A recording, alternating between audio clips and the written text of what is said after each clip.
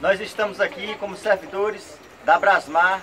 Queremos dizer para toda a população de Imperatriz que nós estamos é, passando por momentos difíceis, pois o Ministério Público ele deu um prazo de 90 dias para que esticasse aí todo o contrato da Brasmar. Então o prefeito, com toda a sua comissão lá, na calada da noite, eles tomaram uma iniciativa de nos tirar a força, tirando o direito de todos os pais de família trabalharem dignamente para sustentar suas famílias.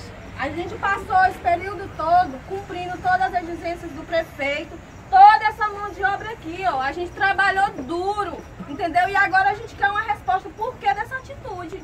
Pessoal, todo mundo aqui que votou no doutor, quer o que hoje aqui? Eu votei. A presença que ele aparece aqui, que ele jogou nós na lama. Jogou todos nós na lama.